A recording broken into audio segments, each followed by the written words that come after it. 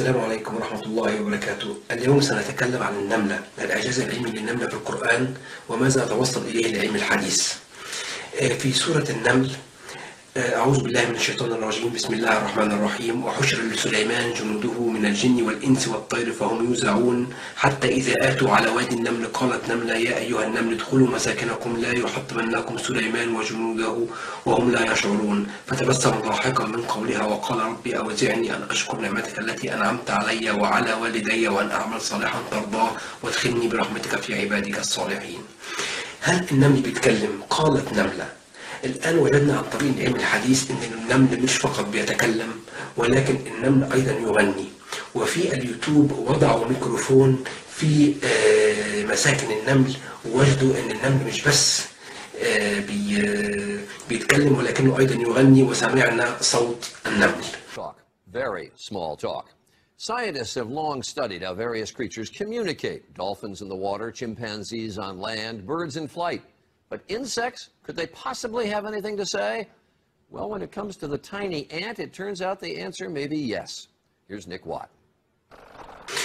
آه، قالت نملة تعالوا نأخذ كل كلمة وكل حرف ونف- ون- ون- ونحاول أن نرى ماذا قال العلم الحديث مع كل كلمة وكل حرف في الآية القرآنية الكريمة Ants live in highly structured societies. They are masters of architecture and even agriculture. And now scientists tell us ants actually talk to each other. Actually talk to each other.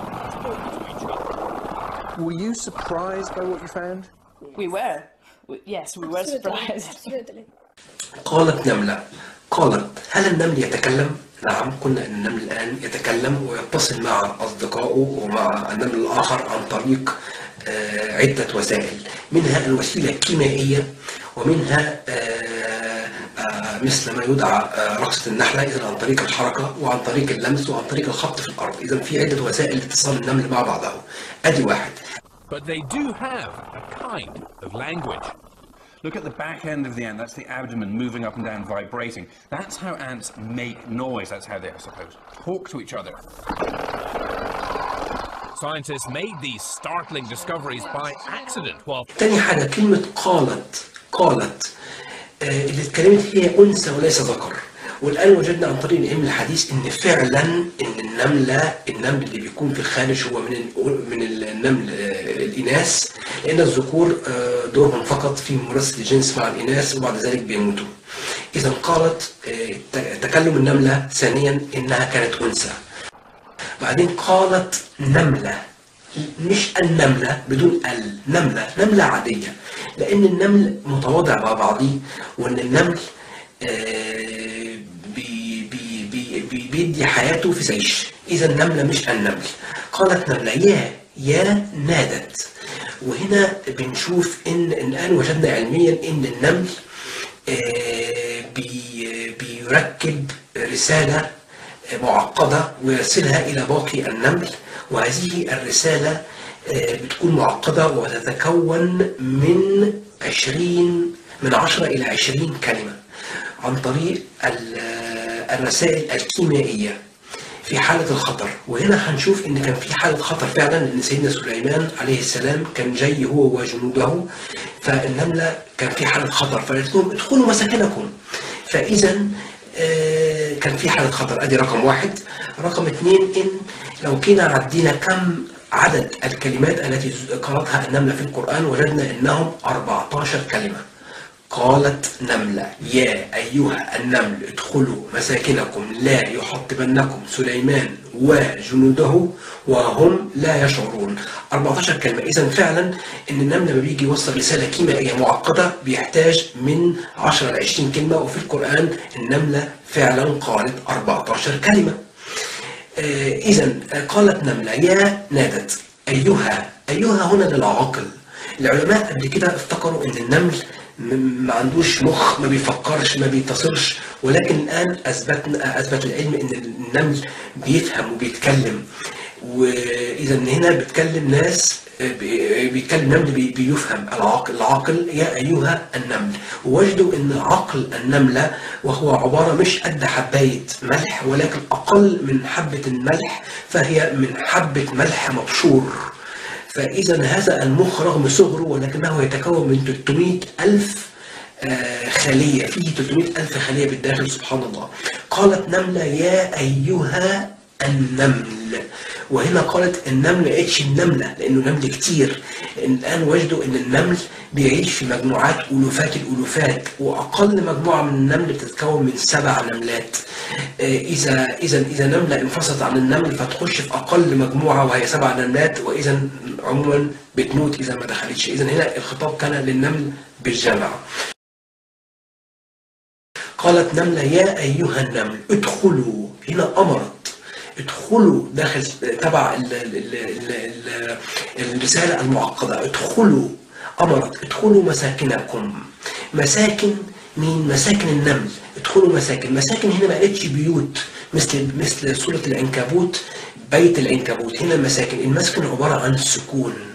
بيحصل فيه سكون ما هوش بيت زي بيت العنكبوت كله قتل وذبح بالداخل. أما بيت أما مسكن النملة فهو فيه سكون. فإذا ادخلوا مساكنكم. قالت لهم مساكنكم كم أنتم ليه؟ قالوا وجدنا عن طريق العلم الحديث إن النمل لو في نمل جديد دخل على بيت نمل آخر النمل الآخر بيقتله لأنه مش بيته. فإذا مساكنكم مساكنكم أنتم مش مساكن حد غيركم. قالت نملة يا أيها النمل ادخلوا مساكنكم لا يحطمنكم لا يحطمنكم. التحطيم هنا آه، قال آه، قيل إن إن النملة جسم النملة مكون من آه، من نفس تركيبة مكونات الإزاز وهي مادة السيليكون. لذلك قيل التحطيم وليس الدهس دي رقم واحد. رقم اثنين إن آه الآن وجدنا إن آه إن جسم النملة لا يتكون من عظام مش مش مثل جسم البني آدم. لا- فلذلك لم تقول لا آه يكسركم. فإذا الآن لو إنسان مثلا ذراعه اتكسر فإذا في هذه الحالة آه، ذراعه فقد الكسر أما النملة لو أي حاجة فيها مشكلة بجسمها إذا عموما نهايتها الموت مش بس عضو فقط. ادي تاني حاجة. تالت حاجة في فرنسا من حوالي ثلاث سنوات آه، لكن إحنا طبعا مش المفروض إن إحنا نعمل مثل هذا هذه التجربة ان إحنا نحترم الحيوان. آه، رموا النملة إلى حتى ارتفاع تقريبا من 2000 متر ووجدوا إن النملة مش ما بيجرالهاش حاجة. وحتى في على الإنترنت في موضوع باللغة الفرنسية لماذا لا تتحطم النملة؟ فاذا آه، لماذا لا تندهس النملة سامحوني. فاذا آه، النملة لما رموها من فوق وجدوا علميا إن النملة ما بيجر- بيجراش حاجة على الرغم إنه ارتفاع 2000 متر. لعدة أسباب علمية منها إن النملة المكان الصدري بتاعها هون بتنفخه فلما بتنزل بي- بي- بي- بيصد س- الصدمة. آه، ثانيا إن النملة عندها قرون الاستشعار عندها في القرن من القرون بتاعتها في عضلة قوية بتساعد على عدم آه، بتساعدها في النزله آه، ثالث حاجة ان النملة آه، لما بتنزل مع الهواء في النهاية بيحصل توازن لأنها خفيفة فما بيجراش حاجة. رابع حاجة إن النملة بتعمل حاجة اسمها الفليكس اللي هو زي آه، يعني في له صوت معين كده هو جابوه عن طريق سمعناه عن طريق آه، بحث وما بيجراش حاجة. فإذا النملة ده كلمة التحطيم مش الدهس ولا الكسر. ادخلوا مساكنكم لا يحطمنكم سليمان وجنوده سليمان عرفت إن هو سيدنا سليمان عرفت إزاي؟ الآن وجدنا علميا إن النمل بيقعد مع بعضيه من حين لآخر في حاله ثرثره آه عرفتي ماذا حصل أمس؟ كذا وكذا وكذا وكذا. إن النمل بيبادل مع بعضيه البضاعة. آه إن النمل بيدفن موتاه. اذا هي عرفت إن هو سيدنا سليمان وقالت و جنوده وعرفت إن هو مش لوحده معاه جنوده وجنوده بالجمع ليه؟ لأن سيدنا سليمان عليه السلام كان معاه آه، الجنود من الجن والإنس والطير. إذا وجنوده وهم لا يشعرون. وهم أكد التاني إن هم مش بس يعني سيدنا سليمان بس لوحده وهم عرفت. وهم لا يشعرون لا يشعرون آه، لأن من طبيعة المؤمن إن هو المؤمن آه، ما بيشوف النمله ما بيموتهاش هكا ولا عنده طبيعة في آه، عنده في قلبه في الإيمان والرحمة بالإنسان وبالحيوان. لذلك لو شافها إن شاء الله مش هيدهسها. لذلك النملة قالت وهم لا يشعرون لأن من طبيعة المؤمن إن هو ما بي ما بيفتريش على الحيوان آه، والإنسان الإنسان وخلافه. وهم لا يشعرون. آه، فاعتذرت النملة وأعطت العذر لسيدنا سليمان إن هو ما شافهاش. وهنا نفهم برضو إن المفروض إن ال- النمل اللي هو يا- ياخد باله مش الإنسان لما هو ماشي يعني النمل هو اللي بياخد باله وهو اللي بينبه. فقالت نملة يا أيها النمل ادخلوا مساكنكم لا يحطمنكم سليمان وجنوده وهم لا يشعرون. فسيدنا سليمان عليه السلام تبسم ضاحكا من قولها. فهو لما تبسم ضاحكا من قولها فهمها فهم بقى فهم النملة وهو كان معجزته إن هو بيفهم الح- الحيوان وفعلا فهمها وده دليل علمي إن هو فهمها. ماذا قالت؟ فتبسم ضاحكا من قولها وقال ربي أوزعني أن أشكر نعمتك التي أنعمت علي وعلى والدي. إذا نعمة الإسلام نعمة إن هو فهم النملة نعمة الإسلام والرحمة إن هو عنده في قلبه رحمة ما بيتهز الحيوان بهذا آه، الشكل. فدي كانت على سورة النمل وسورة النمل كمان آه، ذكرت النمل مش النملة. سورة النمل بالجمع لأن النمل بيعيش في جماعات بعكس العنكبوت العنكبوت بيعيش مفرد لذلك كانت سورة العنكبوت بالمفرد وليس بالجمع. وحتى إذا أتوا على وادي النمل وادي مثلا باللغة الفرنسية وادي هو مكان يجري فيه الماء بكثرة. وادي وهنا في مساكن بكثرة مساكن لأن النمل عنده مساكن بكثرة. وواد وادي من النمل.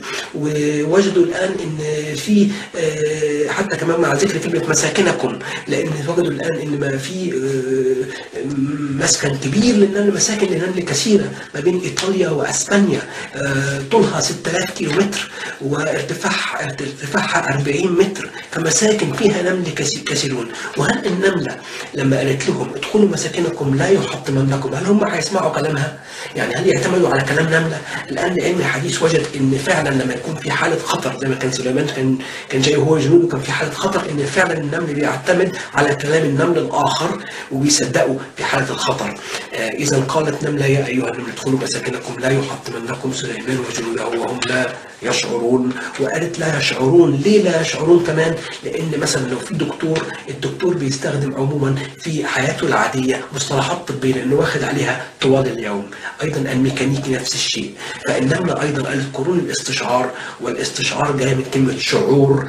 آه، وهم لا يشعرون جاية من كلمة ال- قرون الاستشعار لأن هي عندها قرنين للاستشعار فاستخدمت هذه الكلمة لأنها في حياتها الطبيعية آه، بتستخدم كتير قرون الاستشعار آه، بتاعتها. الآن لو أخذنا لو شفنا على على ال message ال complex الرسالة المركبة اللي هي قالتها النملة هنلاقي إن النملة نادت ونبهت وحددت وخاطبت وأمرت ووجهت ونهت وعللت ووضحت وخصت وجمعت وعمت وأصرت وأكدت واعتذرت. نادت يا أيها نبهت. خاطبت للعاقل. أيها للعاقل. النمل. حددت مين هم يا أيها مين النمل حددت. أمرت. ادخلوا. وجهت. فين؟ نخش فين؟ مساكنكم. مساكنكم. وجهت. نهت. لا. عللت. آه، ليه؟ نخش مساكننا ليه؟ لا يحطمنكم. وضحت مين هم؟ سليمان وجنوده. وهم لا يشعرون. سليمان خصت آه، جنوده آه، عمت وجمعت. وهم أصرت وأكدت بمعرفتها أن سليمان ليس يبقى معه جنوده من الجن والإنس والطير. لا يشعرون. اعتذرت وتأدبت. النبي يقول لها طب نخش مساكننا ليه؟ مثلا الدنيا لسه ضوء نخش ليه؟ خشوا علشان لا يحطمنكم سليمان. يحطمنا ليه؟ وسليمان ما هو مؤمن.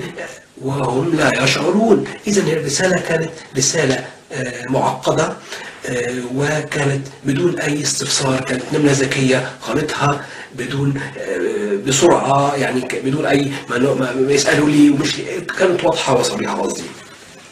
بعدين في حاجة ثانية والآن النمل وجدوا أنه بيسلك أسهل طريقة لكسب المعيشة. العلماء قالوا مستحيل إن النملة بمخها هذا مخها الصغير الذي هو أقل من حبة مبشورة من الملح آه، قد تعلم كل هذا التكنيك التقنية. أعوذ بالله من الشيطان الرجيم. بسم الله الرحمن الرحيم. كلا ربنا الذي أعطى كل شيء خلقه ثم هدى. وعندنا كمان إن النمل آه، وجدنا إن النمل آه، لما قالت أمرت ادخلوا أمرت. وجدوا الآن أن في العلم يوجد نوع من القيادة عند النمل في ناصية الحيوان. أعوذ بالله من الشيطان الرجيم. بسم الله الرحمن الرحيم. ما من دابة إلا هو آخذ بناصيتها. إن ربي على صراط مستقيم.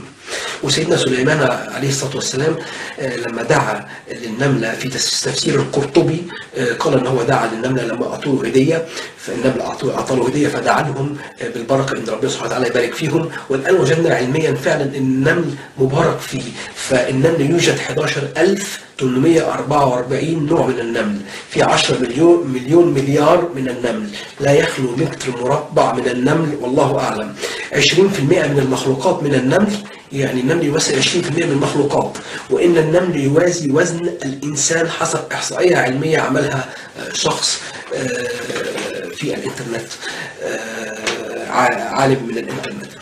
آه، لماذا سميت سورة النمل؟ يعني سورة في القرآن تسمى سورة النمل، ليه؟ النمل مهم جدا، النمل يعمل على استقرار الأرض، تنظيف الحدائق بتاعتنا، يأكل الحشرات الميتة، هو أقدم المخلوقات منذ 92 مليون سنة. النمل آه، ممكن أن نتعمل نتعلم منه حب العمل والدفاع عن الآخرين. في ألمانيا بيدرسوا عن النمل عشان آه، يعملوا يحسنوا من إشارات المرور ويعملوا قواعد للمرور من النمل نفسه. من النمل نفسه. طيب في عندنا النمل النمل وجنود سليمان، إيه هي علاقة النمل بالجنود؟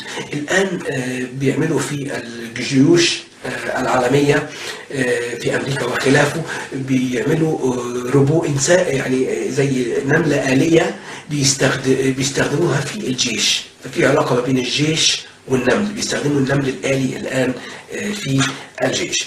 ووجد العلماء إن النمل أمم مثلنا. أول الآن كانوا فاكرين إن هم ما بيفكروش ما بيتصلوش. الان وجدوا إن هو أمم مثلنا. يعني في ألمانيا كما قلنا إن بيعملوا إشارات المرور آه، إشارات المرور بيستخدموا النمل علشان يدرسوا إشارات المرور ويطوروها. بعدين لقوا إن هندسة مساكن النمل في هندسة مساكن النمل أكتر من هندستنا. بعدين بيبنوا النمل بيبني الكباري بيبني الكباري. وبعدين بيدفنوا موتاه وبيحلوا المشاكل بيبدلوا البضاعه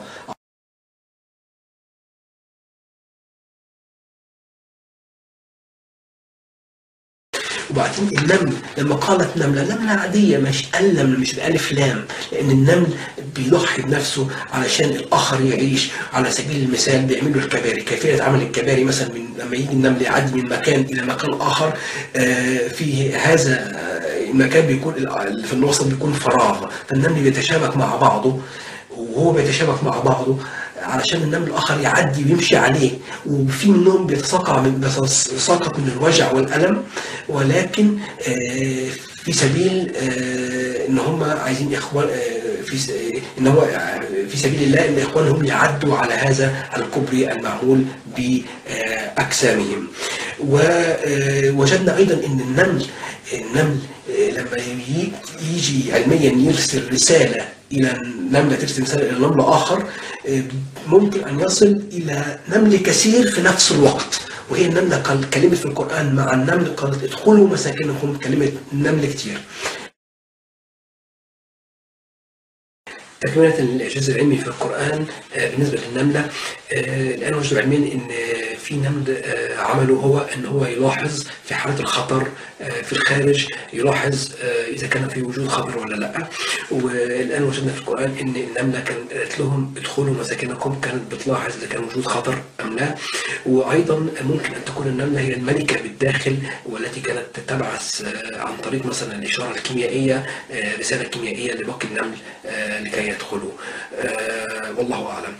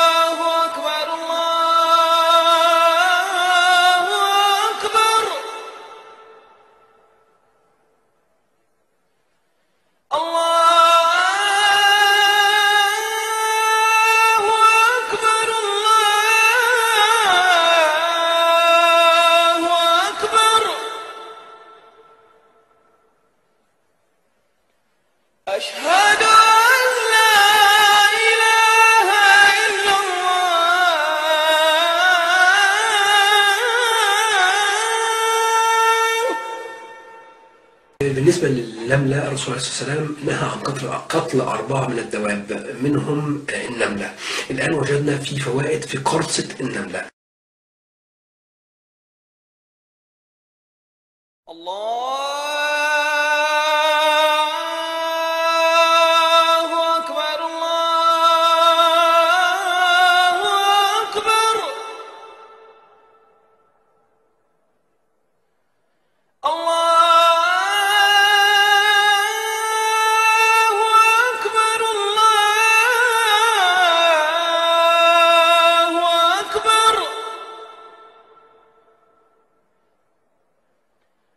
أشهد أن لا إله إلا الله.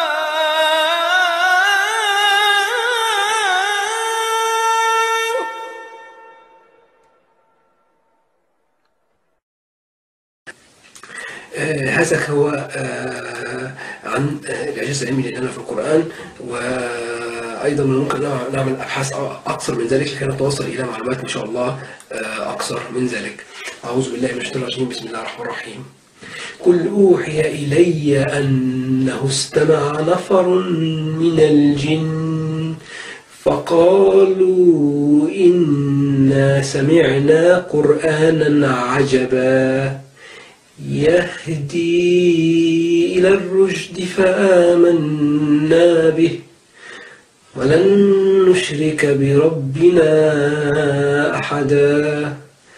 وأنه تعالى جد ربنا ما اتخذ صاحبة ولا ولدا.